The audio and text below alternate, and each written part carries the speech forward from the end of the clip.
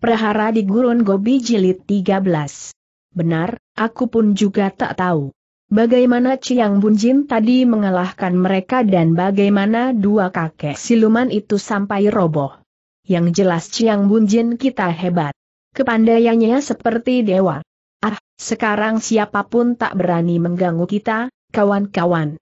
Ada Bengkong Lo Suheng yang hebat dan Ciang Bunjin kita yang sakti. Anak-anak murid Gobi memuji dan tak habis-habisnya mengagumi ketua mereka yang hebat. Munculnya Jileng Hwasyo dan kepandaiannya. Yang seperti dewa memang membuat anak-anak murid berbangga hati. Mereka tadi begitu khawatir akan terdesaknya Bengkong Hwasyo tapi tiba-tiba gerang dan kagum luar biasa begitu Ciang Bunjin mereka yang lama muncul, datang dan memperlihatkan diri dan kepandaian ketua mereka yang seperti dewa memang benar-benar membuat mulut semua murid mendecak. Bayangkan, Ciang Bunjin mereka itu sudah bukan seperti manusia lagi. Kakinya tak menapak tanah dan melayang-layang seperti dewa. Dan ketika Ciang Bunjin mereka itu dapat mengalahkan dua lawannya begitu mudah, hanya sekali gebrak dan dua tokoh hengsan itu pun terpelanting berguling-guling, takluk dan menyatakan kalah maka murid-murid bersorak dan tentu saja bangga. Mereka mempunyai pimpinan yang demikian sakti. Sekarang tak akan ada lagi musuh yang berani datang mengganggu. Dan ketika benar saja hari-hari berikutnya Gobi tak pernah disatroni musuh, kejadian atau peristiwa di Gobi itu didengar orang-orang Kang Ou maka perkumpulan silat yang terletak di tengah gurun ini tak lagi diganggu orang. Xiang Kek maupun Xiang Lam Chin Jin membawa malu besar dan begitu mereka pulang begitu mereka langsung bertapa. Kekalahan yang diderita dari yang terhormat ketua Gobi memberikan pengalaman pahit. Dua kakek itu malu besar. Dan ketika mereka menyembunyikan dan langsung menutup diri, tujuh malaikat Hoasan juga pulang ke tempat masing-masing, Kiam Ting juga kembali dan pulang ke Kunlun maka peristiwa besar di Godi ini menjadi pembicaraan hangat di mulut orang-orang Kang Ou. Berita kekalahan dan munculnya Jileng Hwasyo menjadikan topik cerita di mana-mana. Dedengkot Heng San sampai roboh di tangan ketua Godi itu, yang terpaksa keluar. Dan membantu muridnya yang hendak dikalahkan Siang Kek Chin Jin. Dan karena hal itu tentu saja mengejutkan dan mengherankan orang-orang Kang Ou, karena Siang Kek maupun Siang Lam sebenarnya adalah tokoh-tokoh tua yang setingkat dengan pendahulu sebelum Jileng maka kontan saja pembicaraan mengenai Butek Chin Keng otomatis disinggung-singgung lagi. Chiang Bunjin dari Godi Pai itu memiliki Hok Te Esien Kun. Dan Hok Te Esien Kun adalah warisan kitab Mahasakti Butek Chin Keng. Ah, ini yang menyebabkan Jileng amat hebat, kawan-kawan. Gobi telah mewarisi kitab Maharahasya yang luar biasa. Dan kita juga akan sehebat itu kalau sudah mempelajari Butek Cinkeng. Ah, aku si tua bangka ingin mendapatkan kitab Mahasakti itu. Aku juga, aku juga. Tapi Godi sekarang tak menyimpan kitab itu. Butek Cinkeng telah dibawa kabur Choaong dan kawan-kawannya tujuh siluman langit. Benar, kalau begitu kita cari mereka itu, kawan-kawan. Hayo berlomba sebelum Godbi merebut kembali barang miliknya. Begitulah, kabar dan cerita dari mulut ke mulut ini tersebar dengan cepat. Kepandaian dan kesaktian Jileng Hwasyo menjadi pembicaraan orang di mana-mana. Semua menyimpulkan bahwa itulah karena Butek Chin Keng. Xiang Kek dan Xiang Lem yang menjadi didengkot Heng San sampai kalah. Dan karena Butek Cinken juga dikabarkan sudah dibawa kabur tujuh siluman langit, orang-orang tak tahu bahwa Choaong dan kawan-kawannya justru hanya mendapatkan serpihan-serpihan kertas kosong dari bungkusan yang mereka bawa maka diam-diam bergeraklah orang-orang Kang Ou ini mencari tujuh siluman langit. Mereka masih tetap berambisi mencari kitab itu karena daya tarik dan ceritanya yang demikian besar apalagi setelah dibuktikan dengan kepandaian Jileng yang luar biasa, yang mampu mengalahkan dan membuat takluk dedengkot-dedengkot seperti Siang Kek Chin dan Siang Lam Chin Dan karena semuanya ini benar-benar menarik minat, merangsang gairah dan menutup kesadaran untuk hal-hal yang jernih maka celakalah Choaong dan kawan-kawannya itu yang diserbu orang-orang Kang Ou. Mereka mencaci maki dan menghindar dari serbuan ini, bukan karena takut melainkan karena jumlahnya yang begitu besar, mengganggu ketenteraman dan hidup. Mereka sejak terguncang oleh mengamuknya Ji Beng Hosyo dulu, yang tewas di tangan laki-laki berkedok yang misterius dan ketika Choa Ong maupun kawan-kawannya harus berpindah-pindah dari satu tempat ke tempat lain, diburu dan dicari orang-orang Kang Ou ini maka anehnya Gob yang merasa kehilangan kitab dan jelas-jelas direbut barang miliknya itu adem-adem saja. Gobi memang telah mengeluarkan semacam pernyataan resmi bahwa Butek Chin Keng tak ada lagi di situ. Kitab telah dibawa dan dilarikan tujuh siluman langit.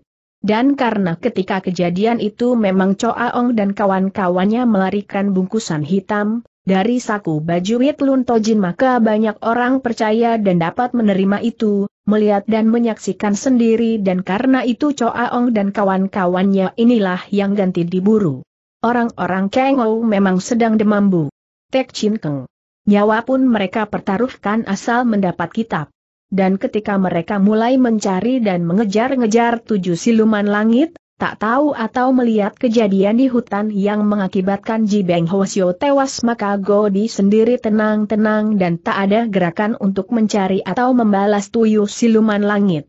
Hal ini sebenarnya luar biasa karena gara-gara tujuh siluman langit itulah Ji Beng tewas. Bahkan, gara-gara tujuh siluman langit ini pula rahasia Butek Cinkeng terbuka. Tapi begitu kitab dibawa lari orang dan semua sibuk mencari Choa Ong dan kawan-kawannya, Butek Chin Keng benar-benar membuat orang menjadi demam maka adalah aneh bahwa Godi sendiri sebagai pihak yang kehilangan barang tak tampak tanda-tanda atau gerakan untuk merebut kembali. Bangkong, kata murid-murid Gobi, dilarang Jileng Hwasyo mencari kitab. Yang hilang biarlah hilang. Karena betapapun juga toh isi kitab sudah dihafal sang tetua, bahkan sudah diwariskan kepada Bengkong Hwasyo segala hingga kepandaian Hwasyo itu meningkat pesat. Siang Kek maupun Siang Lem tak mampu menandingi Hwasyo tinggi besar ini, kecuali dengan mengeroyok. Tapi karena Jileng ada di situ dan kemungkinan besar Hwasyo itu pasti masih mendapat ilmu-ilmu lagi, ini logis maka Siang Kek maupun Siang Lem putus asa memusuhi Godi karena toh mereka pasti kalah lagi. Bangkong kelak akan sesakti gurunya dan ini membuat mereka ngeri. Dengan kepandaian yang seperti sekarang saja murid Jileng itu sudah mampu mempermainkan mereka, menghina dan mempermalukan. Apalagi kalau kelak sudah setaraf gurunya dan mereka coba-coba membalas dendam tentu hinaan dan malu yang lebih hebat lagi yang bakal mereka terima. Dan karena semuanya itu dapat dipikir baik-baik, dua kakek ini benar-benar memendam sakit hati maka mereka bertapa dan tak peduli atau menghiraukan keadaan Heng San lagi. Gobi sudah diminta untuk tidak mengganggu, itu cukup.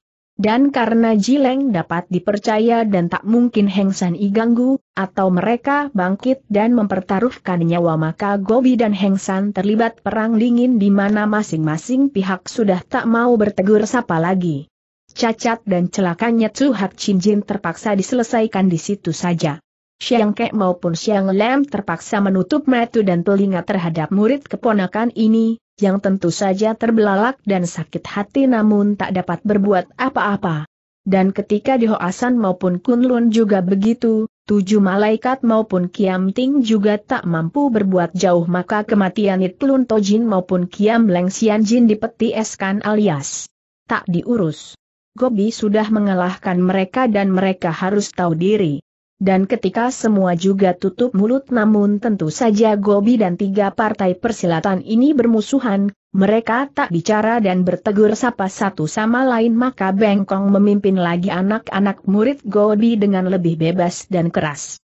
Tiga hari setelah itu Hwasyo ini dipanggil gurunya, entah apa yang dibicarakan namun Hwasyo itu berseri-seri ketika muncul kembali.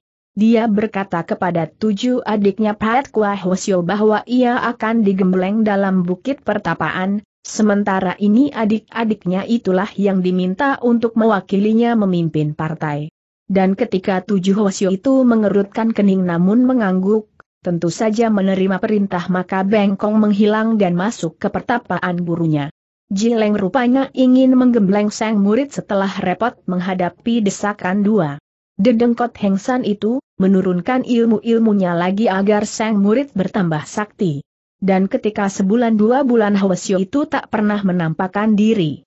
Gobi benar-benar aman dari gangguan musuh maka di tempat lain justru kegaduhan atau keributan tentang Butek Cinkeng beralih. Mari kita ikuti perjalanan Choaong dan enam siluman langit yang lain. Seperti diketahui, Choa Ong dan kawan-kawan dihajar babak belur oleh Ji Beng Hwasyo yang marah besar. Hwasyo Gobi itu benar-benar murka oleh tingkah atau perbuatan tujuh orang ini. Gobi dibuat tak tenang lagi oleh kehadiran mereka. Dan ketika Butek Chin Keng tak didapatkan lagi di saku dalam Etlun Tojin, yang tewas dan dilempar Hwasyo itu maka Ji Beng mengejar dan memburu ketujuh lawannya. Choa Ong dan Kawan-kawan memang dikenal sebagai orang-orang licik. Mereka itu banyak akal dan terlebih curang. Maka begitu didapat bahwa kitab tak ada di saku Lun Tojin, Seng Hosyo mengejar dan keluar gurun maka dihadangnya lawan-lawannya di hutan sana. Choa Ong dan teman-teman kaget dan selanjutnya kita tahu pertarungan mati hidup di antara tujuh orang ini melawan Jibeng. Semua kepandaian dan kesaktian Hwasyo itu dikeluarkan. Choa Ong dan kawan-kawan kewalahan. Dan ketika satu demi satu mereka terluka, untunglah seseorang menolong dan menghajar Hwasyo itu maka Choa Ong dan teman-teman selamat dari amukan si Hwasyo Kosen. Diam-diam mereka mencucurkan keringat dingin melihat kehebatan Hwasyo ini. Bukan main, baru beberapa tahun saja tak bertemu tiba-tiba si Hwasyo sudah selihai dan sesakti itu. Namun ketika bayangan hitam membunuh Hwasyo itu, dan ular tiga warna menancap di dada Sang Hwasyo, roboh dan tewas maka Choa Ong dan kawan-kawannya yang ngacir dengan mendekap dada atau tubuh yang terluka. Rata-rata luka dalam dihantam pukulan Jibeng. Choa Ong mengutuk dan tak habis-habisnya memaki-maki Hwasyo itu, meskipun akhirnya lawan tewas dan tak bergerak lagi di tanah dan ketika mereka menyingkir karena sinaga emas dan Pat Kua Hosyo datang, melihat dan menolong Ji Beng Hosyo maka Choa Ong langsung kembali ke tempatnya di selatan untuk menyembuhkan luka. Si Tok dan Jin Mo juga menghilang ke tempat masing-masing begitu pula suami istri KWI Bun dan Tongsi. KWI Bo juga tak ketinggalan dan bersama Jin Tou dan diam dua orang ini mendahului. Mereka pucat melihat kesaktian lawan. Tapi ketika sebulan masing-masing bersembunyi dan hari itu sudah sehat kembali, Choa Ong menggeliat dan mengetuk-ngetukan tongkat tularnya di tanah tiba-tiba terdengar tawa dan si Tok, si racun barat muncul, berderak dengan tawanya yang berat. Haha, selamat pagi, Choa Ong. Selamat bertemu dan sehat-sehat kembali. Ah, si Raja Ular terkejut, tiba-tiba terkekeh. Kau, si Tok. Ada apa ke sini dan kenapa pagi-pagi datang? Tumben. Haha, aku ingin sambang, menjenguk. Apakah kau masih hidup dan selamat? Sambang? Haha, jangan omong kosong, Sitok. Orang seperti kau ini tak punya solidaritas terhadap teman. Weh, tak usah main-main. Kau tak perlu membohongi aku dan katakan saja apa maksud kedatanganmu. Aku bukan anak kecil. Haha, Raja Ular memang cerdik. Wah, aku ingin tanya soal sebulan yang lalu itu, Choa Ong. Bagaimana Butek Chin Keng tiba-tiba hanya berisi serapihan kertas melulu? Di mana kitab itu sebenarnya? Di mana kau simpan? Apa? Tak usah bohong. Aku curiga kepadamu bahwa sebelumnya kau sudah menukar isi bungkusan itu dengan potongan kertas kecil-kecil. Aku datang untuk menanya ini. Kalau kau mengaku sahabat tentu tak pelit untuk kita belajar bersama.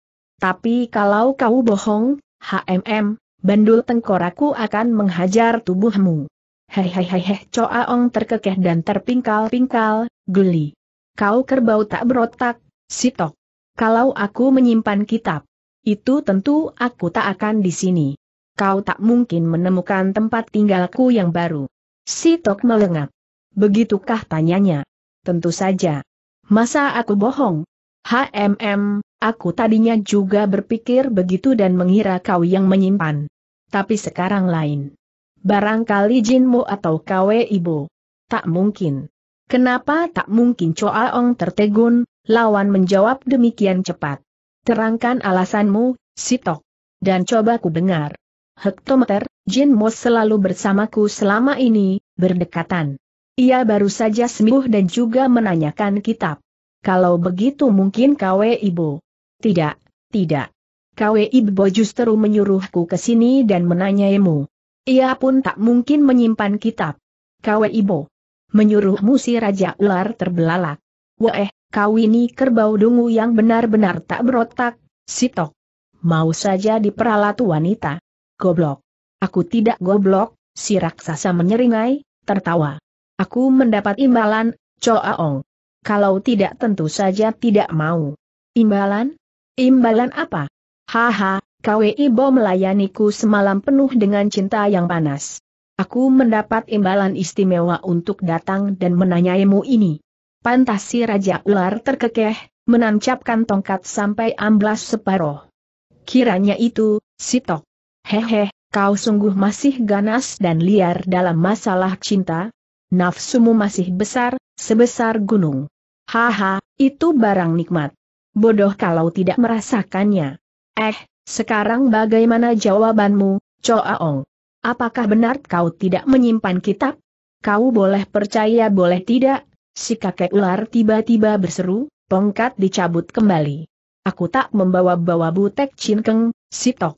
Kalau ku bawa tentu aku tak akan di sini. Aku tentu bersembunyi di tempat lain dan kau tak berakal menemukannya sampai aku selihai jibeng. Hektometer, kalau begitu siapa yang membawa? Apakah siluman, si raksasa bersinar-sinar? mau percaya. Siapa menurut pendapatmu yang paling pantas dicurigai, Choaong? Apakah KWI Bun dan istrinya? Kupikir juga begitu, atau, HMM, siapa tahu justru Jinto atau KWI Bo sendiri. Eh, kau lagi-lagi mencurigai KWI Bo. Dengar, si kakek menggoyang tongkatnya. Jinto maupun KWI Bo ini manusia-manusia cerdik, sitok, Beda dengan kau yang berangasan dan berotak kambing. Mereka bisa saja pura-pura menuduh orang lain tapi sebenarnya diri sendiri yang membawa. Kau tak usah memaki aku, si raksasa berseru, marah. Kau pun berotak lempung, Choaong. Kalau tidak percaya mari kulihat isi batok kepalamu. Wut bandul tengkorak menyambar, langsung menghantam namun. Choaong terkekeh, menangkis. Dan ketika dua orang itu sama terhuyung dan terpental ke belakang, si Raja Ular berseru mengibaskan tongkat maka si raksasa diminta berhenti. Eh, it, jangan mengamuk. Kita sudah biasa saling memaki. Tapi kau tak pernah mengataiku berotak kambing. Dan kau tak pernah memakiku berotak lempung. Haha, tahan dan sabar, Sitok. Pembicaraan kita belum selesai dan ketika raksasa itu menggeram namun menyeringai, memang ia tak pernah memaki seperti itu maka Choa Ong buru-buru bicara lagi melihat temannya sudah mau bersabar. Lihat, dan dengar kata-kataku. Sebaiknya kita selidiki satu per satu dan kalau nanti ada yang tidak di tempat maka itulah yang patut kita curigai. Bagaimana kalau sekarang kita menyelidiki KW Ibu? Di mana rekan kita itu? Ia di luar hutan, tak jauh dari sini. Tapi kenapa mesti dia yang diperiksa lebih dulu? Aku yakin ia tak membawa butek cinkeng. Hektometer, kalau begitu siapa yang paling dekat dulu, Sitok? Kau ini selangit betul cintamu kepada KW Ibu. Tentu, ia wanita hebat. Ia pandai bermain cinta dan memabokkan aku sampai ke langit tujuh. Dan KW Ibu pun cinta kepadaku. Kami sudah berjanji untuk menjadi suami istri. Ia milikku, hartaku. Haha, tua bangka gila. Kau dikecoh dan ditipu saja oleh siluman itu, Sitok. KWI Bo tak pernah puas dengan satu laki-laki dan ia tak mungkin sungguh-sungguh. Kau dikempongi. Sudahlah, tak perlu bicara ini. Ini urusanku pribadi, tak perlu membuat aku marah atau nanti kita bertanding. Baik, baik. Sorry, Sitok. Kau memang berangasan dan rupanya lagi tergila-gila kepada kekasihmu itu. Baik, katakan kepadaku siapa kira-kira yang sekarang ini paling dekat dengan kita. Itulah yang kita cari. Sitok tertegun. Kebetulan Kwe Ibo, ia di luar hutan sana. Nah, kalau begitu berangkat. Ayo kau tunjukkan dan duluan. Choa Ong bergerak. Ia minta temannya jalan duluan dan si Tok pun berkelebat. Mengangguk. Dan ketika raksasa itu berseri-seri bahwa ia akan menjumpai kekasih, semalam baru saja mereka bercinta maka racun dari barat ini gemas menunjukkan di mana Kwe Ibo berada. Raksasa itu gemas kepada temannya kenapa KW Ibo yang baik-baik dan dapat dipercaya itu harus diselidiki.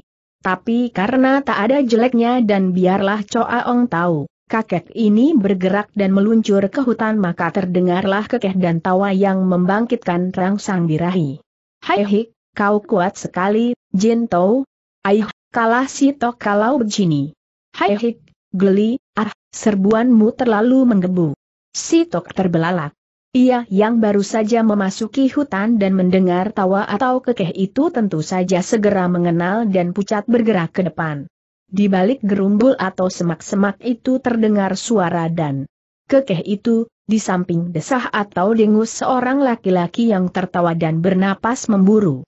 Dan ketika si raksasa menguak dan menyibak gerumbul itu, kaget dan marah maka dilihatnya kekasihnya tercinta, Kwe Ibo, bermain cinta dan telanjang bulat bersama seorang laki-laki tampan yang memegang kayu pikulan. Jin bentakan atau seruan keras ini membuat yang sedang berinta terkejut. Kwe Ibo, yang sedang bergulingan dan mendesah serta mendengus dan terkekeh-kekeh bersama pasangannya tiba-tiba berteriak ketika si Tok melompat. Raksasa itu mengayun bandul tengkoraknya dan terdengar suara menderu yang dahsyat sekali. Dan ketika dua orang itu dihantam dan menerima serangan maut, Kwe Ibo maupun Jin Tou dihantam bandul tengkorak maka. Keduanya secepat kilat mengelak dan Kwe Ibo menjerit ketika senjata itu menghantam tanah, dahsyat sekali. Des! Si Tok menggeram dan seketika membalik. Ia marah sekali dan pucat serta merah berganti-ganti melihat kejadian di depan matanya ini. Seng kekasih, yang semalam berjanji sehidup semati tiba-tiba saja sudah bergumul dan bercinta dengan orang lain. Siapa tidak panas? Maka begitu serangan luput dan raksasa ini menggeram, giginya berkeratak maka ia sudah menyerang dua orang itu dan Jintou kedodoran mengenakan pakaiannya yang disambar buru-buru, mengelak dan berlompatan tapi bandul tengkorak sudah mengejar dan menderu-deru. Selanjutnya si Tok memaki-maki dan kemarahan atau api kebencian meletup di kepala raksasa ini.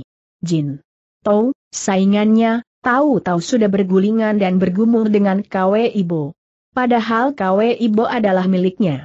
Tapi ketika laki-laki itu mengelak dan menghindar sana-sini dan sudah menguasai keterkejutannya, kedatangan si Tok memang di luar dugaan maka laki-laki itu membalas dan Kwe Ibo pun melengking-lengking, memaki dan membalas raksasa ini, orang yang semalam juga dilayaninya.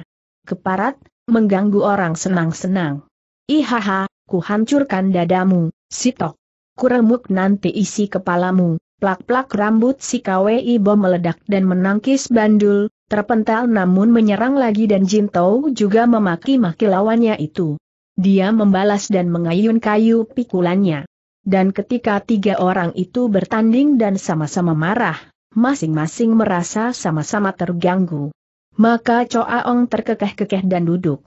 Menonton, mengipas-ngipasi mukanya yang sedikit berkeringat. Hehe, lumayan, gratis. Ayo, sikat dan sikut lawanmu, sitok. Bunuh mereka itu. Awas, hati-hati terhadap pikulan Jintou dan elak sambaran rambut Kwe Ibo, ah, haha.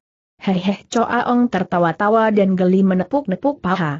Sikapnya demikian santai sekali dan si Tok dibakar dengan kata-kata menusuk. Sambaran atau lecutan Kwe Ibo selalu dikatakannya sebagai sambaran atau lecutan rambut siluman. Raja ular ini bahkan mengendus-ngenduskan hidungnya dan berkata bahwa rambut Kwe Ibo memiliki keharuman yang aneh, barangkali hasil minyak wangi janto yang baru saja diberikan kepada wanita itu. Dan ketika si Tok meluap karena semua kata-kata ini benar. Benar memanaskan hatinya, terbakar, maka si Tok memperhebat serangannya dan pohon-pohon pun segera tumbang dihajar bandul tengkoraknya yang mengerikan itu. Hijintou membentak, ditujukan kepada si Raja Ular itu. Tutup mulutmu, Choaong. Atau nanti ku sumpal kentut. Haha, kentutmu tak bau, si Raja Ular terkekeh, menggoda. Kentut yang tak berbau tak dapat dipakai menyumpal, Jintou. Lain kalau umpamanya kentut si Tok.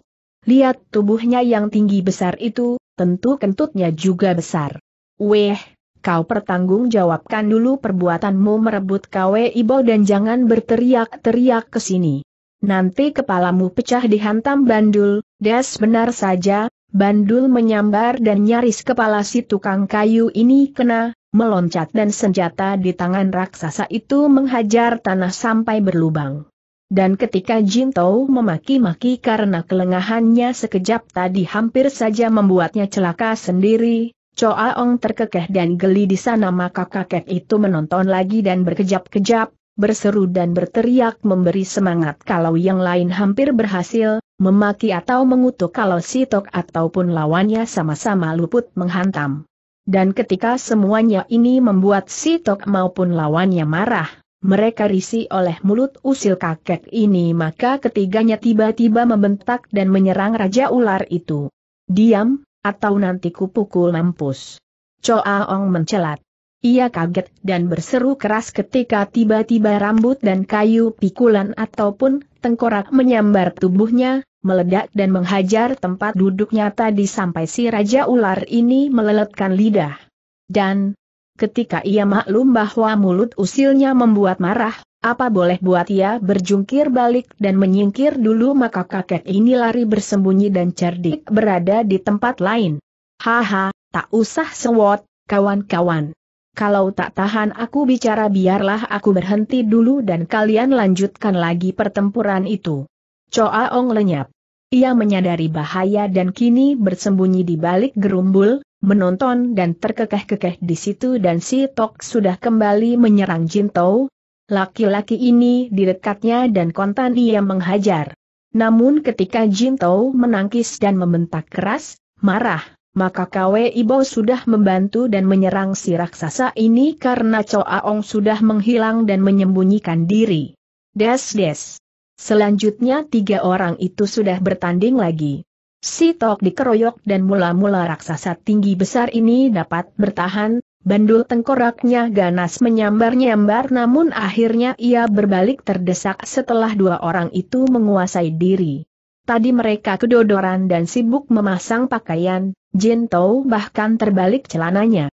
Lucu. Namun ketika laki-laki bermata coklat ini tak peduli dan ia berkelebat membalas serangan-serangan lawan, Sitok kewalahan maka berikutnya raksasa inilah yang menjadi korban sasaran kemarahan dua orang itu, yang merasa terganggu dan dipenggal kesenangannya. Rasakan, hih. Kau mengganggu kesenangan orang, Sitok. Kalau tidak dihajar kau nanti kurang ajar lagi, Des-des rambut KWI bom meledak dan menghantam si raksasa. Membuat lawan terhuyung dan saat itu Jintou juga membentak dan menghantamkan kayu pikulannya, kena dan raksasa itu terpelanting. Dan ketika si To berteriak-teriak karena lawan mulai ganas, ia terbelalak memandang KWI bom maka ia bertanya bagaimana dengan janji siluman betina itu. Janji apa KWI melotot. Jangan macam-macam, si Tok. Aku tak pernah berjanji apa-apa kepadamu. Eh eh, kau berjanji mau sehidup semati denganku. Kau mau menjadi istriku. Semalam kita telah berjanji. Eh mana janjimu itu, kau ibu? Bukankah kau mencintai aku? Hai hik, si kerbau dungu, kau ibu terkekeh, tak dapat menahan geli. Orang bercinta selalu begitu, si tok. Tapi kalau selesai ya sudah. Semua itu hanya untuk penikmat suasana. Kau bodoh dan seperti anak ingusan. Masa tidak tahu dan menuntut janji segala. Jadi kau tak mencintai aku? Kalau kau menyenangkan hatiku tentu saja cinta, tapi kalau kau membuatku marah begini tentu saja tidak. Aku benci. Ah dan si raksasa yang membentak dan berteriak tinggi tiba-tiba melepas pukulan dahsyat ke arah wanita itu. Kwe Ibo menangkis dan mereka sama-sama terpental. Tapi ketika Jintou melengking dan mencabut kapaknya, senjata utamanya maka senjata itu menyambar dan mengenai bahu Sitok. Krat. Sitok berteriak. Dagingnya terkuak sedikit dan untung raksasa itu cukup kebal. Ia telah mengerahkan sinkangnya namun bacokan kapak cukup membuatnya kesakitan juga.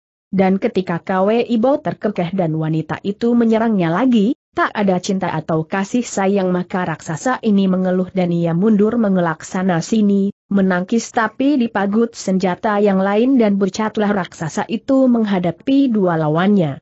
Sekarang ia terdesak, mundur-mundur dan jatuh terpelanting ketika rambut meledak di bahunya yang lain. Dan ketika Kwe Ibo terkekeh-kekeh dan senang melihat si Tok jatuh bangun, marah, maka si Tok tiba-tiba membalik dan melarikan diri. Kawe Ibo, kau jahanam keparat. Pengingkar janji. Ah, terkutuk kau dan mampuslah di neraka. Hai hik, cinta ditolak kok marah-marah.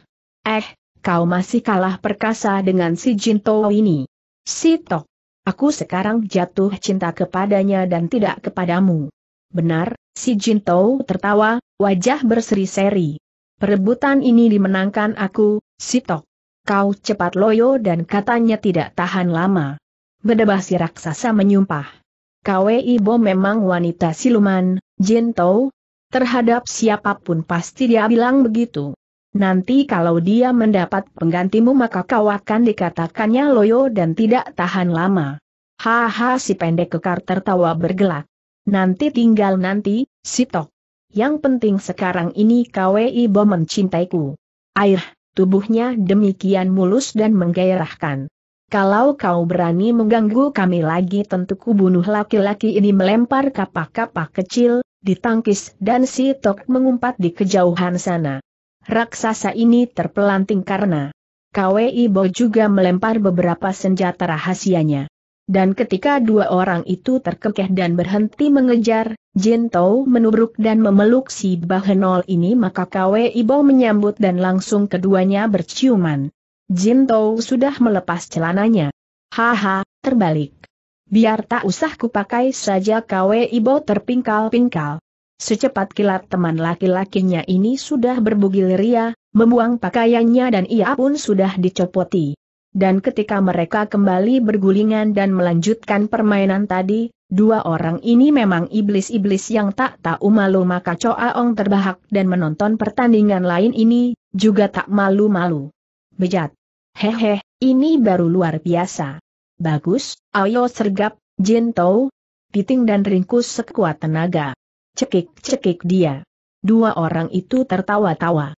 Jintou memang bersikap kasar dan mencekik atau memeluk tubuh Kwe Ibo dengan brutal. Sikapnya seperti kerbau jantan namun justru inilah yang disukai Kwe Ibo. Wanita itu tak senang dengan permainan cinta yang lembut. Ia minta yang kasar dan beringas. Kalau perlu, sadis. Dan ketika Jintou juga melakukan itu karena segera gigit sana gigit sini, menggaruk atau mencubit segala maka Choa Ong terkekeh-kekeh dan terpingkal di sana, tak terasa nafsu berahi pun bangkit dan ingin ikut-ikutan. Orang-orang seperti mereka ini memang ada gangguan jiwa, tak menyukai cara-cara yang sehat dalam bermain cinta karena maunya kasar dan buas seperti binatang. Tapi ketika kakek itu meloncat dan hendak ikut mengeroyok, Kwe Ibo jijik melihat tubuhnya yang kurus kerempeng maka kakek itu ditendang dan si Raja Ular mencelat. Pergi, tubuhmu sudah terlalu tua dan kurus. Choa Ong memekik. Kontan ia menjadi marah dan dicabutnya serulingnya untuk memanggil ular. Dan ketika dua orang itu bergulingan lagi dan puluhan ular tiba-tiba merayap datang, menggeleser dan diperintahkan menyerbu yang bermain cinta maka KWI Bo maupun Jintou mengutuk meloncat berteriak-teriak. Mereka jadi bingung dan marah oleh gangguan ini dan Choa Ong terpingkal-pingkal. Kakek itu mendapatkan kesenangannya dalam hal yang lain. Tapi ketika dua orang itu menginjak-injak dan membunuhi ularnya, marah dan memaki-maki maka kakek ini memperhebat suara sulingnya namun dua orang itu berkelebat pergi, mencari tempat lain dan kakek ini mendongkol tak dapat berbuat apa-apa. Akhirnya ia gigit jari dan muncullah si Tok yang tadi menghilang. Raksasa ini merah. Mukanya karena Kwe Ibo sudah tak memperhatikannya lagi. Si Tok sakit hati. Dan ketika ia berseru kenapa si Raja Ular tak membantu sekarang ganti kakek itu yang penasaran maka Choaong tertegun tapi terkekeh. Hehe, sudahlah. Kwe Ibo masih ingin melanjutkan hajatnya. Kita mencarinya bukan untuk mengganggu melainkan bertanya tentang butek cinkeng itu. Bagaimana kalau kita bersabar sebentar dan menunggunya selesai bermain cinta? Menunggu? Dan mereka bersenang-senang. Keparat, aku tak suka ini, Choaong. Hati bisa panas terbakar melihat mereka bermain cinta. Kalau begitu kau labrak sendiri saja ke sana. Aku si tua bangka ingin main-main dulu dengan anak-anakku ini dan Choaong Jang tertawa dan meniup sulingnya lagi, menyuruh ular-ularnya berlenggang lenggok lalu membuat si Tok mendelik namun tak dapat berbuat apa-apa. Raksasa ini pun tak mungkin berani mengganggu Kwe Ibo, kalau dua orang itu bercinta sementara dia sendirian. Dan ketika ia melotot namun tersenyum melihat ular menari-nari, mengikuti irama suling maka raksasa ini terbahak dan menyambar seekor ular betina yang paling besar. Haha, suruh ia melayaniku, Choaong. Coba kau tiup sulingmu agar mau menjadi istriku. Hehe, ularku tak dapat melayanimu. Tapi kalau kau ingin belayan dan jilatan sayang tentu bisa. Lihat, aku akan mengobati kekecewaanmu, Sitok. Tapi jangan cengkeram ekornya agar tak kesakitan. Sitok tertawa bergelak. Ia tadi mengelus-elus bawah ekor ular betina dan memijat serta meneengkeramnya. Si Tok agaknya ingin ular itu bangkit berahinya. Tapi ketika Seng Raja Ular berseru bahwa tak mungkin ia main-main dengan ular, binatang itu hanya dapat berpasangan dengan jenisnya saja maka si Tok melempar ular ini dan minta agar Choaong menyajikan adegan yang lebih menarik. Kalau begitu suruh ularmu bermain cinta, biar aku menonton. Haha, boleh, Lihat dan ketika kakek itu meniup sulingnya dengan nada tinggi rendah maka tiba-tiba ular mendesis-desis dan mereka saling belit menjadi satu, berdiri dan akhirnya tegak dan 50 pasang ular sudah melaksanakan keinginan si Tok. Raksasa itu tertawa bergelak-gelak dan lupalah dia akan nasibnya sendiri, yang dibuang dan dilempar. Kawe ibu. Tapi ketika Choaong tiba-tiba menghentikan tiupan sulingnya dan berseru cukup, Raksasa itu tertegun maka si Tok bertanya kenapa dihentikan. Hehe, cukup. Satu jam sudah lewat. Di sana tentu Kwe Ibo dan Jintou juga selesai bermain cinta. Ayo, kita tanya mereka, si Tok. Nanti main-main lagi kalau belum puas. Choa Ong berkelebat. Si Tok akhirnya sadar dan mengangguk, berkelebat dan mengikuti si Raja Ular itu. Dan ketika mereka tiba di luar hutan dan benar saja Kwe Ibo tampak membersih pakaiannya, berdiri dan mengibas-ngibaskan rambutnya yang panjang hitam maka si Tok memandang penuh cemburu tapi tak berani main-main karena Jintou juga ada di situ, mengenakan pakaiannya dan nakal mencubit buah dada Kwe Ibo. Perbuatan yang memanaskan. Haha, kau hebat dan masih menggairahkan, Kwe Ibo. Tubuhmu demikian aduhai dan lekuk lengkung ini sungguh membuat aku ngilar. Sayang, tenagaku sudah habis. Hai hik, nanti saja lagi. Lihat, Sitok ke sini dan melotot. Ia cemburu. Tapi Choa Ong mau mengganggu kita. Hektometer, apa maksudnya dan hati-hati. Dua orang itu membalik. Mereka telah selesai bermain cinta dan betapa terbakarnya hati Sitok melihat kepuasan yang terbayang di wajah Jintou. Laki-laki itu tampak mendecak dan menjilat-jilat bibir. Ia tak habis-habisnya mengagumi tubuh Kwe Ibo karena memang wanita ini montok dan menggairahkan. Lekuk lengkungnya hebat dan tak ada laki-laki yang tak bakalan kagum.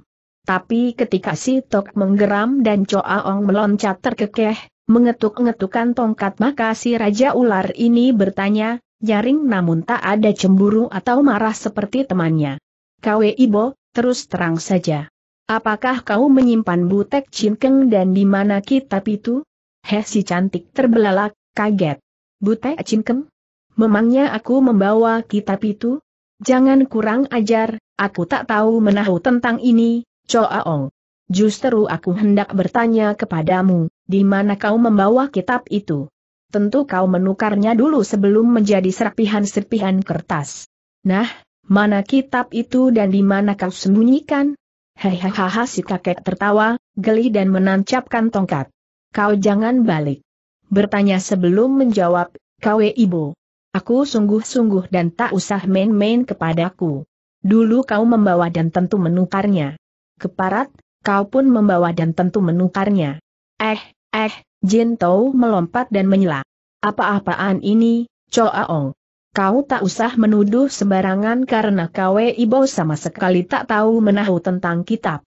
Kalau Butek Chin Keng ada di tangannya tentu ia sudah bersembunyi dan tak mungkin kita temukan. Sama seperti kau atau si Tok ini yang juga berprasangka. Heh, aku juga sekedar bertanya. Tapi bagaimana kitab bisa menghilang begitu saja dan berubah menjadi kertas biasa? Siapa kira-kira yang bermain gila? Hektometer, aku tadinya malah menyangka kau, KWI Bom menjawab, bersinar-sinar. Tapi setelah kau datang dan memperlihatkan diri maka kecurigaanku tak berdasar, Choaong. Tak perlu ribut-ribut karena jelas kita masing-masing sama-sama tak membawa kitab. Kalau begitu siapa? Mungkin Kwe Ibun dan istri ini, atau Jinmu. Hektometer, aku juga berpikir begitu. Kalau begitu bagaimana jika kita datangi mereka? Kau takut sendirian? Hehe, berempat tentu lebih menyenangkan, Kwe Ibo, daripada sendirian atau berdua. Bagaimana jika kita sama-sama datangi mereka dan bertanya?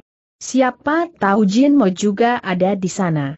Hektometer, si tukang kayu ini sebaiknya tak usah ikut campur.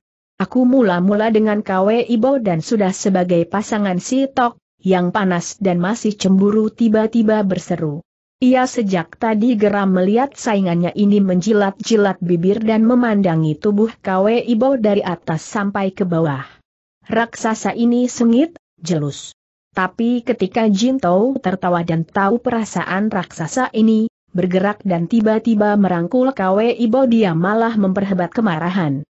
Haha, Kwe Ibo milikku, Sitok. Kalau hari ini ia memilihku maka sebaiknya kau tak usah cemburu atau gusar.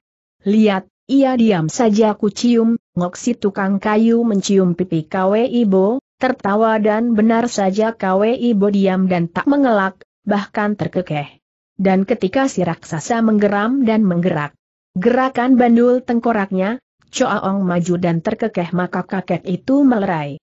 Sudahlah, tak perlu saling membakar. Kita sesama rekan dan masih banyak urusan yang harus diselesaikan. Bagaimana kalau sekarang kita bergabung dan mencari suami istri Kwe Ibun? Ingat, mereka itu lihai dan tak akan mudah digertak kalau kita juga berdua atau bahkan hanya sendirian. Bagaimana pendapat kalian? Aku setuju, tapi Jintou tak boleh memeluk-meluk atau mencintai Kwe Ibo di depan mataku si Tok, yang tak tahan dan berseru mendahului melepas berangnya. Ia membuat Kwe Ibo terkekeh dan Jintou juga tertawa. Iblis wanita itu geli. Namun karena Choaong benar dan tak mungkin menghadapi Kwe Ibun dan istrinya hanya berdua karena mereka setingkat maka wanita ini melepaskan dirinya. Dan mendorong Jintou, Tenaga si Tok juga diperlukan di situ.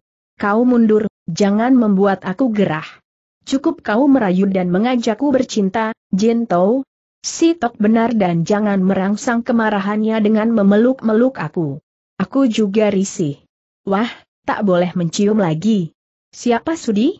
Tubuh dan keringatmu apek, Jin Tou, Jujur saja kau dan si Tok sama-sama lelaki kasar dan ketika Jin Tou maupun Choaong tertawa, si Tok menyeringai puas maka Kwe Ibo sudah tak mau didekati kawannya lagi, mengibas dan mengeringkan rambut dan Jin Tou hanya menjulurkan lidah. Kalau Kwe Ibo tak mau diganggu maka jangan coba-coba diganggu, si betina akan marah dan di situ ada si Tok, yang tentu berbalik menyerang dan akan menjadi sahabat Kwe Ibo. Orang-orang sesat memang selalu aneh.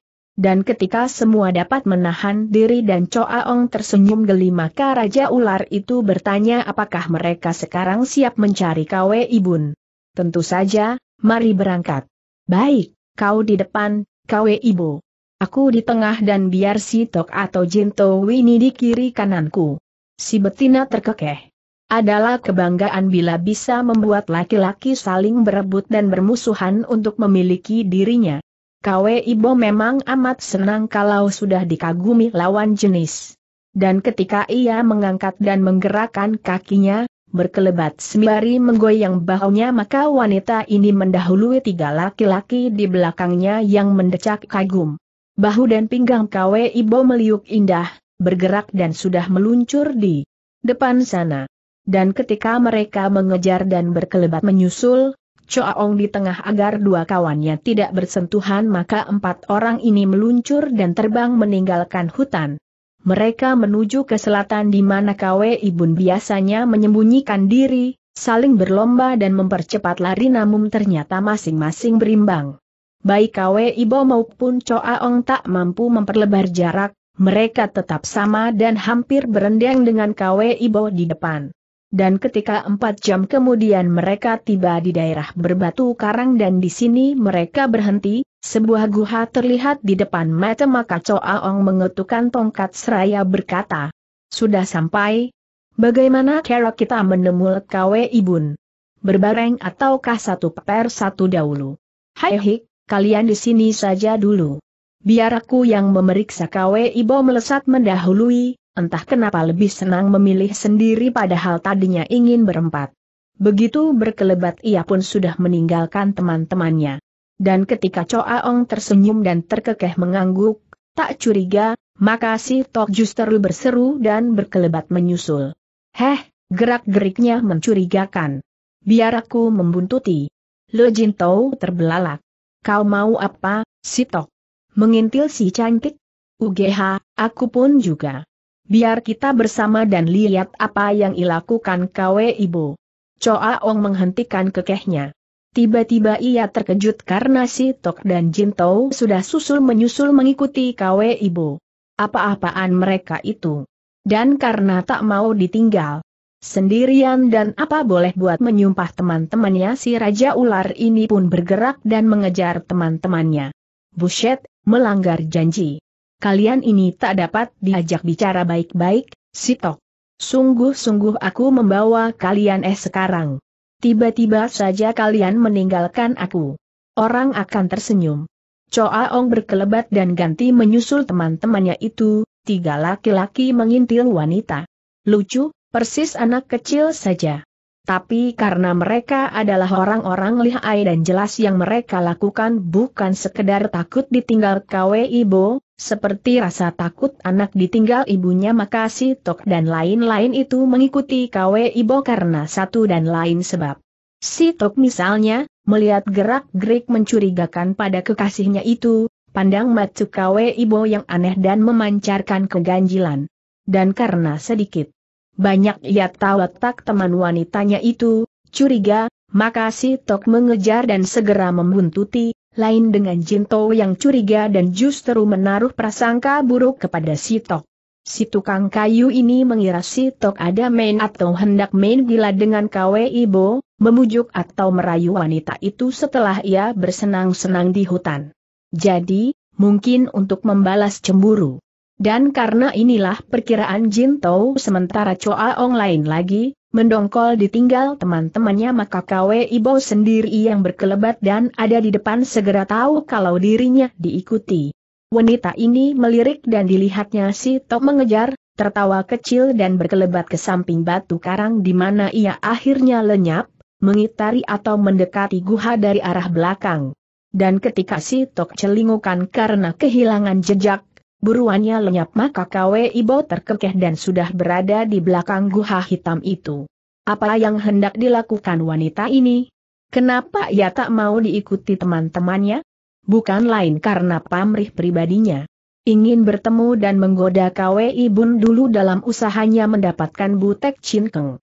Dulu Kwe Ibun pernah memandangi tubuhnya secara lahap dari atas ke bawah, Pandangan laki-laki yang rakus akan birahi meskipun sudah punya bini. Dan karena Kwe Ibo adalah wanita matang dan gerak-gerik atau pandangan lelaki tentu saja sudah dikenalnya, ia ingin menjebak dan menipu Kwe Ibun maka di situlah wanita ini meninggalkan kawan-kawannya untuk bertemu secara pribadi dengan si pintu setan dalam usaha membujuk dan merayu. Tapi sial. Baru saja ia melongok dan bersuit perlahan, tanda panggilannya kepada Kwe Ibon mendadak lima sinar hitam bercuit menyambar mukanya. Kwe Ibo baru saja mengintai dan bersuit perlahan ketika tiba-tiba mendapat sambutan lima sinar hitam itu. Dan ketika ia mengelak dan tentu saja menyampok, lima tusuk konde kecil runtuh ditamparnya maka tahu-tahu berdiri bayangan tongsi yang hitam gelap, penuh amarah hektometer, pantas. Ini kiranya tanda siulanmu untuk berkencan dengan suami orang. Keparat, mau apa kau ke sini, kawe ibu? Dan kenapa selalu mencari-cari suamiku? Wanita jalang. Eh, hai kawe ibu terkejut tapi segera dapat menguasai diri, cepat turun dan berkacak pinggang. Mau apa kau menyerang aku, Pongsi? Apakah kau kira suamimu yang pucat itu sudah sedemikian ganteng hingga perlu kurayu dan kuajak kencan? Cih, kau wanita tak tahu malu. Buruk dan sombong. Masih sejagat laki-laki tampan di dunia ini hingga tak perlu aku mencari-cari suamimu. Keparat, sundal betina. Kalau begitu apa maumu dan bersiul-siul segala? Bukankah kau hendak menemui suamiku dan mengajaknya berbuat cabul? Eh, Kau bukan wanita baik-baik, kau ibu. Kau betina jalang yang rakus akan laki-laki. Tak usah banyak cincong dan pergilah sebelum ku hajar. Kau ibu marah. Akhirnya ia balas memaki dan mengatakan lawannya lebih buruk daripada kuda. Kalau bukan Kwe Ibon yang sepucat maya tak mungkin ada laki-laki yang mau dengan wanita itu. Dan karena Tong Si memang berwajah mengkilap seperti perunggu, kuning kehitam-hitaman maka Kwe Ibo yang gagal dan kini berhadapan dengan Tongsi malah melampiaskan kemarahannya di situ. Kau buruk melebihi kuda, tahu. Kau mengkilap seperti pantat wajan. Eh, kalau suamimu masih suka kepadamu tentu ia tak perlu melirik-lirik aku, Tongsi. Tapi karena wajahmu buruk dan mengkilap seperti wajan maka ia menaksir diriku. Aku datang memang atas kehendaknya. Kwe Ibun ingin berganti pasangan untuk penyegar. Nah, kau mau apa dan mana suamimu itu? Tak ada lagi kata jawab. Tongsi langsung melengking dan begitu habis lawannya bicara ia pun sudah berkelebat dan mencabut tusuk kondenya. Senjata andalan ini menyambar dan tiba-tiba sebelas serangan sudah susul menyusul menusuk Kwe Ibu. Mulai dari kepala sampai ke ujung kaki. Dan ketika Kwe Ibo mengelak namun lawan mengejar, kata-kata itu benar membakar maka apa boleh buat iblis betina ini menangkis dan rambutnya menjeletar bertemu sebelas serangan maut. Plak plak plak. Tongsi membentak dan menyerang lagi. Kemarahannya benar-benar sampai di ubun-ubun mendengar kata-kata lawannya tadi. Selain dicap buruk ia pun dianggap mengkilap seperti pantat wajan. Siapa tidak mendidih? Dan begitu ia ditangkis dan masing-masing terpental, Kwe Ibu lupa kepada maksud tujuannya semula maka muncullah si Tok yang terbelalak dan tertegun melihat pertandingan ini. Eh eh si raksasa berseru. Apa ini, Kwe Ibu? Kenapa kau bertanding dengan Tongsi? Ia mau mengajak suamiku main gila Tongsi melengking, tusuk konde tetap berkelebatan menusuk-nusuk, cepat. Aku tak mau ia kurang ajar, si Tok. Hayo bantu aku dan bunuh siluman ini. Haha si Tok tiba-tiba tertawa bergelak. Membantu? Ah, kalian dua wanita sama-sama cemburu, Pongsi. Daripada membantu kalian lebih baik menonton benar saja, si Tok lalu duduk dan menonton, asyik dan tertawa-tawa dan Tongsi tentu saja gusar. Kawan diminta bantuannya malah menonton, ia tentu saja sengit. Dan ketika ia menerjang dan memaki si Tok, si raksasa hanya ganda ketawa maka berturut-turut muncullah Jintou dan Choaong, yang juga tertegun dan terbelalak. Hei, ada apa ini? Kenapa bertempur? Mana Kwe Ibun? Haha, Kwe Ibo katanya mau mencari Kwe Ibun, diajak kencan. Tapi karena Tongsi yang ada maka Tongsi mengamuk. Ah, begitukah? Haha, kalau begitu biar kita menonton Jinto, yang baru saja bercinta, dan bersayang-sayang dengan Kwe Ibo ternyata sama saja dengan si Tok, tidak membantu dan membiarkan saja dua wanita itu bertempur, duduk dan menonton. Dan ketika Choa Ong juga terkekeh-kekeh dan menancapkan tongkatnya, menonton dan bersila di situ maka Kwe Ibo maupun Tongsi sama-sama marah karena mereka jadi barang tontonan. Jin Tou, mana kesetiaanmu sebagai kekasih? Hei, bantu aku dan jangan melotot di sana. Cepat, atau nanti tak ku beri lagi. Haha, untuk urusan begini mestinya si Tok lebih tepat, Kwe Ibo. Bukankah ia yang lebih dulu menikmati tubuhmu daripada aku? Ayo, minta saja si Tok dan aku belakangan, sesuai urusan. Wah, mana bisa? KWI botak setia kepada janjinya, Jin Tou. Kaulah yang merebut dan kau pula yang harus maju. Ayo, bantu KWI Bo atau nanti KWI Bun muncul. Haha, aku tak ingin bermusuhan dengan KWI Bun. Ia orang baik dan sahabat yang dapat dipercaya. Begini saja, Choa Ong tiba-tiba menimpali. Kita membantu kalau salah satu berada di dalam bahaya. Sebelum itu biarkan mereka memanaskan tubuh dan kita tetap menonton. Haha, benar. Biarkan salah satu berkeringat dan lihat siapa yang bentuk tubuhnya lebih indah. Kwe Ibo ataukah Tongsi? Kwe Ibo maupun Tongsi menjadi marah. Mereka melengking dan memaki tiga laki-laki itu karena mereka ternyata disuruh terus bertanding sampai mengeluarkan keringat, basah kuyup dan di situlah nanti tubuh mereka tercetak. Dan karena Tong si bukan wanita cabul seperti Kwe Ibo, yang tentu saja marah dan melotot mendengar itu maka wanita ini melepas tiga senjata rahasianya di mana masing-masing menyambar Choa Ong dan si Tok serta Jintou, Laki-laki bermulut busuk. Tak tahu malu. Choa Ong dan si Tok serta Jin Tou tertawa. Mereka dengan mudah tentu saja menyampok tiga senjata gelap itu, runtuh dan Tong Si bertanding lagi dengan seru di sana. Tapi ketika wanita itu mencak-mencak dan Kwe Ibo juga marah melihat tiga orang rekannya ini mendadak terdengar jerit dan teriakan wanita. Tidak, tidak. Lepaskan aku, lepaskan. Airih. Semua terkejut. Tongsi yang semula bertempur penuh kemarahan mendadak menoleh dan berubah. Wajahnya seperti menyiratkan sesuatu dan serangannya terhadap Kwe Ibo tiba-tiba mengendor. Dan ketika teriakan itu terdengar lagi namun sekonyong-konyong berhenti, seolah mulut yang berteriak ditutup kencang mendadak wanita perunggu ini berjungkir balik dan terbang keluar wilayah, meninggalkan lawannya.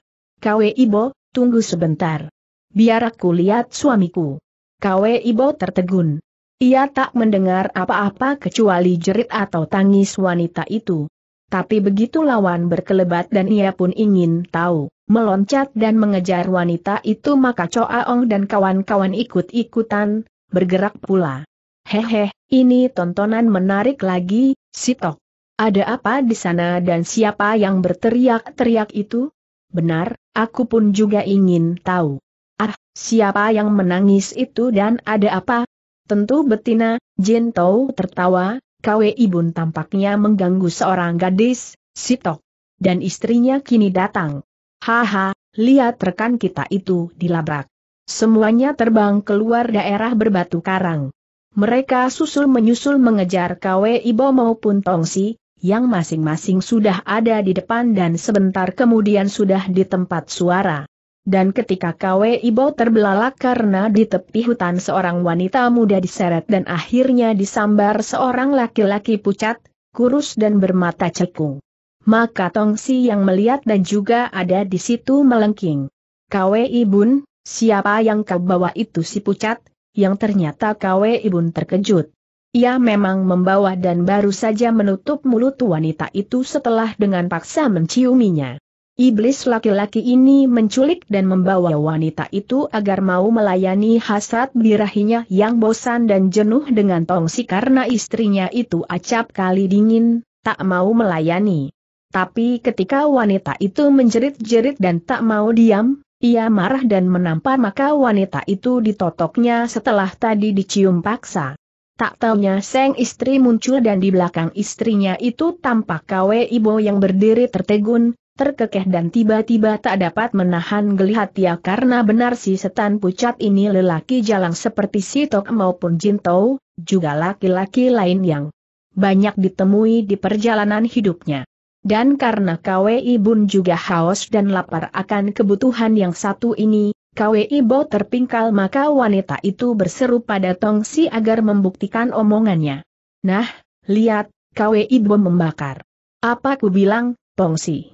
Suamimu itu suka mengajak kencan wanita lain. Tidak mendapatkan aku ia pun tentu mencari yang lain. Lihat sekarang ia merobek-robek pakaian wanita ini. Suamimu tak sabar menunggu kedatanganku. Tutup mulutmu Tongsi membentak, marah kepada Kwe Ibo namun menyambar wanita ini, siapa jalang yang kau bawa ini, Kwe Ibun? Dari mana dan mau kau apakan dia? Brad Tongsi telah merebut wanita ini, melengking dan Seng suami tampak ketakutan dan gelisah. Kwe Ibun meloncat dan melepaskan korbannya. Dan ketika Tongsi melempar dan membanting wanita ini, yang mengaduh, maka Tong Si sudah menginjak dada wanita itu yang tentu saja menjerit. Bengis. Kau pelacur dari mana berani bersama-sama suamiku? Heh, siapa namamu dan minta hidup atau mati? An, ampun wanita itu ngeri, bantingan atau lemparan Tong Si masih membuatnya kesakitan. Ah, aku bukan pelacur, Hujin. Ah, aku wanita baik-baik dari dusun di luar hutan. Ah, aku dibawa suamimu Un, untuk melayani hasratnya. Ah, aku jangan dibunuh. Kau bukan pelacur bukan. Kalau begitu kenapa mau dibawa-bawa? Ah, aku dipaksa, Hujin. Suamimu yang membawa-bawa. Bohong. Suamiku orang baik-baik. Hayo mengaku bahwa kau bohong. Ah, auga wanita itu menjerit, Tongsi menginjak keras dadanya. Ampun, Hujin, ampun. Aku, aku benar-benar dipaksa. Aku, aku diminta melayani.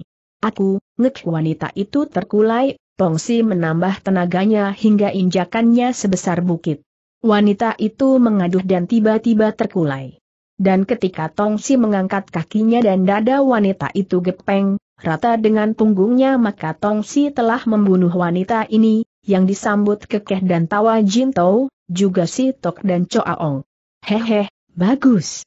Luar biasa sekali. Suami menyeleweng namun wanitanya yang dibunuh. Tongsi menghadapi suaminya. Ia tak memperdulikan ejekan Choa Ong karena dengan mata berapi-api dan dada berombak wanita ini menghadapi Kwe Ibun.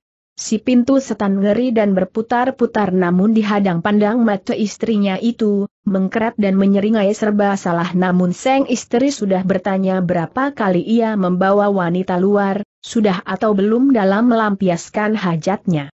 Dan ketika si pintu setan tentu saja menjawab belum, baru sekali itu juga membawa perempuan maka Kwe Ibo terkekeh geli melihat laki-laki yang ketakutan ini. Hehe, aku, aku baru sekali ini. Lagi pula belum berbuat apa-apa karena keburu kau datang. Aku hanya ingin menakut-nakuti dan bermain-main saja, Pongsi. Tidak sungguh-sungguh karena tentu saja kaulah yang dapat memuaskan diriku. Aku hanya mempermainkan, menggoda. Tanda petik. Keparat, dan tentu akan menelanjanginya kalau aku tidak kes ini. Kau bilang main-main tapi tentu berubah sungguhan kalau istrimu tidak tahu. Wah, Tentu tidak, Pongsi. Kaulah istriku. Kaulah satu-satunya milikku. Wanita itu tak nempil denganmu. Bukan apa-apa. Tanda petik. Bagus, kalau begitu coba kulihat celanamu. Kenapa kedodoran dan kolornya putus? Kwe Ibun terkejut.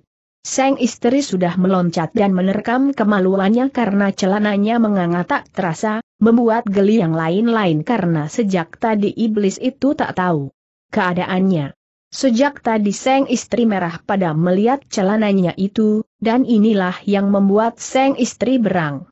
Dan Ketkatong si meloncat dan seketika itu juga kelima jarinya mencengkeram ganas, menuju ke bawah perut suaminya maka Kwe Ibun berteriak dan menghindar, dikejar namun mengelak lagi dan sang istri melengking menggetarkan hutan.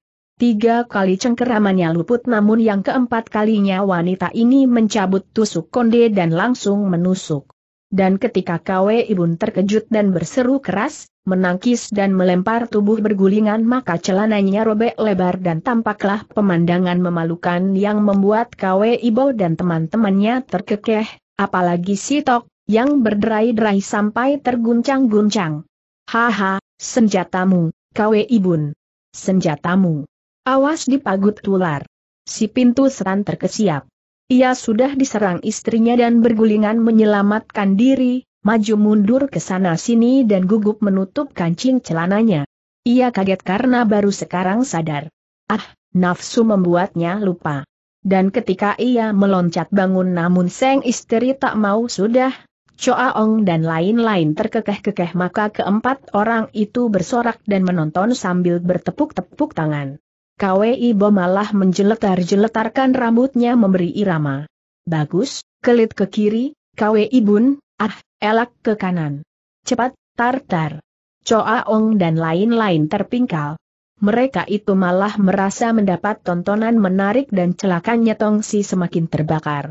Tepukan atau ledakan rambut si Kwe Ibo seakan bunyi-bunyian genderang perang, membuatnya beringas dan kalang kabutlah Seng suami menerima serangan-serangan istrinya ini. Dan ketika tujuh tikaman mengenai perut dan dada Kwe Ibun, yang kurus dan keras maka Kwe Ibun mengerahkan sinkangnya dan tusuk konde terpental. Hal yang membuat istrinya malah semakin marah saja. Tak tak tak. Kwe Ibu dan lain-lain tertawa.